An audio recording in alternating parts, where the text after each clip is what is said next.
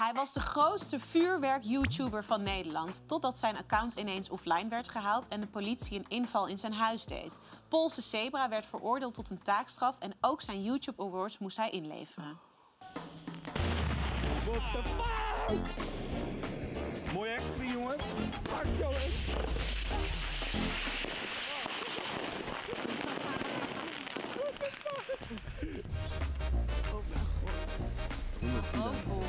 Mannetje. Jessie! Wat een beuken. Oh mijn god. Warzone. Dit is niet oké. Dit is wel Sam. heel grappig. Ik weet niet of alles Poolse Zebra Leuk. was, maar Poolse Zebra heeft wel hele lijpe dingen gedaan. Die rookbom sowieso. Oh, holy shit. Oké, 2018 Ja. eh, is dit gebeurd. Maar wie is hij? Hoeveel abonnees had hij? Want hij was de grootste. Wat moet ik me daarbij voorstellen? Ja, hij had op zijn hoogtepunt meer dan 160.000 eh, abonnees op YouTube. En dat groeide ook als kool. Binnen een jaar ging het eh, over de 100 en de 150.000 abonnees heen. Sommige video's werden meer dan 10 miljoen keer bekeken. Jeetje. En hij had ook heel veel fans in India. Echt over de hele wereld. Maar het was een Nederlandse jongen die, eh, die vaak de grens overging met het vuurwerk. Maar ook om het vuurwerk te krijgen uit Polen en zo.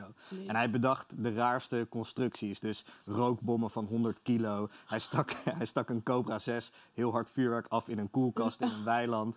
Eh, en dat filmde hij dan ook best wel eh, cinematografisch. Dus met slow motions en playbacks en soundtracks eronder. Ja, en daar was gewoon een gigantisch publiek voor. Maar hij blaast van alles op. Je zegt ook, hij haalt dingen uit het buitenland. Ja. Dat mag toch niet? Dat mag, officieel mag dat niet, inderdaad. Dus hij bestelde illegaal vuurwerk mee met iemand uit Polen. Zo begon het allemaal. En op een gegeven moment toen werd zijn, hij ging dat filmen. Daar vond hij een publiek voor, dus dat YouTube-kanaal werd steeds groter. Maar toen kreeg hij ook wel door van, ja, hij werd op een gegeven moment werd hij meerderjarig, want hij begon als kind. Oké, ik moet een manier vinden om dit soort van semi-legaal te doen. En dan ging hij altijd met vrienden eh, in de auto, maakte ze een roadtrip naar Polen toe, gingen ze de grens over. En dan heb je gigantische warenhuizen waar je vuurwerk kan kopen. En dan kochten ze dat daarin. Hij kreeg ook nog heel veel gratis vuurwerk, omdat, ze, omdat hij dan reclame daarvoor maakte. Maar als een soort influencer of zo. Eigenlijk wel. vuurwerk eh, influencer. Influencer. En dat was allemaal zeg maar, een soort kattenkwaad. Maar wat hij niet door had, was dat in de tussentijd het OM en de politie een gigantisch onderzoek naar hem aan het doen waren. Maar hoe oud, hoe oud was hij toen hij werd opgepakt? Eh, hij was 20 toen hij werd opgepakt. Hij was hij 13 deed het toen hij begon. Hij was 13 toen hij Ja, begon. En, Toen- eh, en het kanaal had hij al vijf jaar. En wat voor, vol, wat voor mensen volgden hem dan? Ja, er was dus een hele, en dat is er nog steeds wel, maar een, een grote community van liefhebbers van vuurwerk en illegaal vuurwerk. Maar in Nederland, Ja, in jonge, Nederland mensen of... ja. eh, Ja, ja, ja en, eh, en ook gewoon volwassen mensen. Ja. Maar er zijn, het is iets heel primitiefs. Kijk, ik was totaal niet van het vuurwerk. Ik had vroeger zo'n knallenpet, weet je wel, toen ik klein was. Die ik dan over mijn oren kon binden, omdat ik het zo Kleine eng vond. zaal. Maar er zijn heel veel mensen, mijn broertje bijvoorbeeld, die vinden dit helemaal geweldig. Ja. Weet Maar je wel, die, die kikken het er ook daarop. echt satisfying uitziet, dit hoor. ik kijk en ik denk van, hoe... hoe? Ja, maar het is ook wel intens, toch? het Want ook ik Ja, vind het heel wel... intens, Ik bedoel, kijk, als, hij gaat dan misschien naar Polen of waar dat dan wel mag. Maar als hij zoveel volgers heeft in Nederland... en ook jonge volgers die denken dat dit soort warzone-achtige praktijken normaal zijn... Ja. ik snap wel dat de politie daar dan ook opduikt. Ja, je hebt hem ook je hebt hem voor je podcast gesproken, de Ja. ondergrond. En hij is dus in 2018 opgepakt, moest een paar dagen in de, in de cel zitten. Ja. En daar vertelt hij over. Daar luisteren we even naar. Als je dan weer terugkomt in je, in je cel, zeg maar, ja, dan ga je, je... Je bent continu met je hoofd ermee bezig. Je kan niet slapen.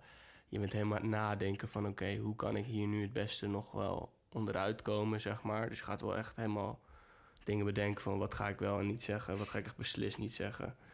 Ja, dat was wel mentaal wel heel zwaar. En dan ga je ook wel echt nadenken van... eh, wat zijn de, de, de straffen die ik nu kan gaan krijgen.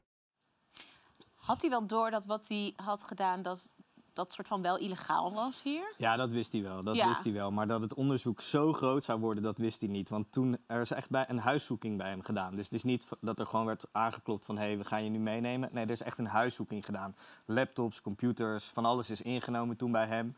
Eh, en tegelijkertijd dat er bij hem een inval werd gedaan, werd ook bij twee vrienden en een kennis van hem een inval gedaan. Dus Ja, het is het echt, echt een groot. gigantisch proces geweest. Ook eh, als een, ehm, de overheid, het OM, een groot onderzoek doet, dan geven ze het ook een naam. Zoals het Marengo-proces, wat we Mhm. nu allemaal kennen. Dit kreeg ook zo'n naam. Het DeLorean-proces werd dit genoemd. Oh, wauw. Ja, het is echt, maar, eh, en, maar hoe is het nu met hem? Ja, het gaat nu wel goed met hem. Kijk, ik heb hem leren kennen eh, toen hij... eh, hij is nu videograaf. En dat is het mooie aan dit verhaal. Hij is begonnen hiermee omdat hij dat vuurwerk zo vet vond als kind.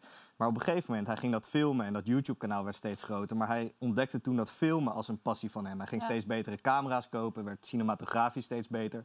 En nu is hij gewoon een hele succesvolle videograaf. En dat is ook hoe ik hem heb leren kennen bij een, bij een klus. Wanneer is dit dan? Dit, dit, Dat- deze YouTube-filmpjes, wanneer is dat dan Ja, is allemaal? 2000 Tot 2018 2018. Toen is hij opgepakt. Ja. opgepakt en toen, eh, toen is de Hoe zaak kijkt hij nu dan naar dat vuurwerk? Ik bedoel, de- Ja, hij heeft wat gaat hij over de- wat gaat hij de veel 31ste mensen beïnvloed om illegaal vuurwerk te gebruiken ook. Ja, kijk, hij kijkt er eh, eh, met een eh, goed gevoel op terug. Hij is heel erg geschrokken van eh, wat er allemaal gebeurd is eh, met het OM en zo. Dat snap ik ook wel. Hij is ook veroordeeld, is officieel op papier nu een, een crimineel. Maar ja, uiteindelijk, weet je, hij heeft niemand kwaad gedaan. Hij heeft niemand wat aangedaan. Hij ziet het meer als een qua jongenstijd en dat snap ik ook wel. Ik snap het ook weer van het OM dat ze er wat mee hebben gedaan. Maar de schaal waarop dit is aangepakt... eh, de Poolse zebra denkt zelf dat het hele proces tonnen aan overheidsgeld heeft gekost. Eh, het, het dossier wat voor hem is aangemaakt bestaat uit 1700 pagina's. Dus Oh, dat kan best wel. Ook wel eervol als je Ja? zo... Ja, maar de grote vraag is, gaat hij nu nog wat afsteken, de 31ste? Denk, Eh. durft hij dat nog of heeft u zoiets van, ik ben oké en ik ga gewoon kijken? Ik denk wel dat hij iets gaat afsteken, maar op de schaal zoals hij dat deed vroeger, toen hij nog de Poolse zebra was, dat denk ik. niet. Dat niet. Waar eh, gaan we, nou ja, die veroordeling, deze 1700 eh, pagina's stellende dossier, waar leggen we die op de maatregel? Ja, de Poolse zebra, de grootste vuurwerk-YouTuber die we hadden, is wel vrij iconisch. Maar eh, het afsteken van vuurwerk is wel flink trash. trash. Ja, dat is Ja. wel trash. Dus Ja, dat is wel een hem, eh, beetje... een beetje zo. Ja. En maar, de maar hele, wat de hele heeft hij gekregen uiteindelijk? vraag ik me af. 216 uur taakstraf. Eh, dat er is was- best veel. Ja. Dat is het maximum is 240, dus dat is best wel veel. En hij heeft 11.000 euro die hij had verdiend met het YouTube-kanaal... had hij allemaal al uitgegeven weer aan vuurwerk, heeft hij weer terug moeten betalen. Dus En- hij is anderhalf jaar bezig geweest met dat af te En hij moest zijn YouTube Awards teruggeven. Teruggeven, dat is ook best dat is pittig. pijnlijk. Ze zeggen dat mensen geen spanningsboog meer hebben, maar toch heb jij het gered tot het einde van dit filmpje. Hou deze concentratie vast. Hier links kun je meer kijken en hier rechts kun je abonneren.